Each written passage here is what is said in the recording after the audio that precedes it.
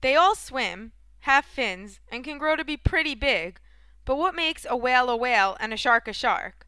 What is a whale shark exactly, and where do killer whales come into play? Let's get these terms straightened out. Let's start with whales. A whale is a mammal of the ocean. It passes all the mammal tests. It's warm-blooded, breathes oxygen through its lungs, gives birth to live offspring, and produces milk for their young. And they have hair. It may be hard to see at first, but if you take a close-up look, you can spot a few strands growing out of the top of their head. Whales belong to the order called cetaceans. The word cetus means large sea animal. Some examples include sperm whales, blue whales, humpback whales, and belugas. All cetaceans have five characteristics in common.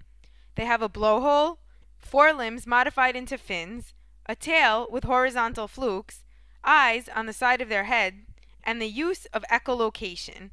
Echolocation is a method of sending out sound waves that bounce off of objects and reflect back to the animal that made the noise.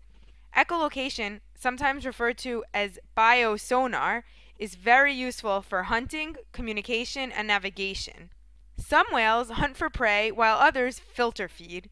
This means they swim with their jaws wide open, gulping water and filtering it like a giant vacuum cleaner. A special structure called a baleen helps filter out delicious marine organisms from the water. Now, onto sharks. A shark is really just a big, scary fish. It is not a mammal. Sharks are cold-blooded and have a body made of cartilage, the same substance found in our noses. Unlike whales that have a vast skeletal system, the only hard parts of a shark are its skull, spine, and jaws, which are often layered with rows of calcified, razor-sharp teeth. Sharks breathe by passing water through their gills and extracting the oxygen.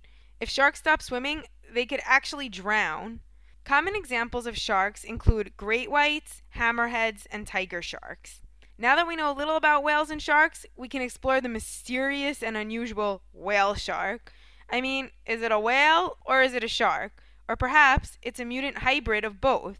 As it turns out, the whale shark is a full-fledged shark. It is the biggest shark in the ocean, but it is also the most gentle. They congregate in warm tropical waters and are known to swim peacefully alongside divers and snorkelers.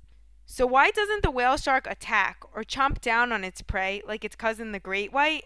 Well, first of all, it's hard to chomp down when you don't have any teeth to chomp with. The tiny vestigial or remaining teeth in its mouth are of no use to it. The whale shark is a filter feeder. Just like its friend the baleen whale, whale sharks suck in huge amounts of water that pass through a filter pad. The pad collects plankton and expels the extra water through its gills. Whale sharks are so big and majestic, the Vietnamese honor them with the name Ka Ong, which translates to Sir Fish. In the Philippines, whale shark is printed on the 100 peso bill. Speaking of majestic, we now arrive to killer whales. You may have first come across a killer whale, or orca, when watching the movie Free Willy and its 18,000 pound star, Keiko.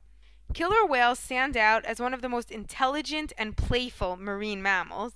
So, how does such a playful animal get such a terrible name? The first written description of a killer whale was given by a Roman Navy commander in 70 AD who witnessed orcas hunting other whales.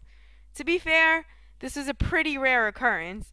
Orcas usually prey on fish and marine mammals, such as sea lions or penguins, and on special occasions, a shark liver or two. But hey, that's the circle of life. Orcas come from a group called the Odontoceti, or toothed whales, which breaks down into the Delphinidae family. Yep, it's exactly what it sounds like. Killer whales are actually a type of dolphin, and all dolphins are part of the whale order. Hmm, so do humans have anything to fear from these giant dolphins?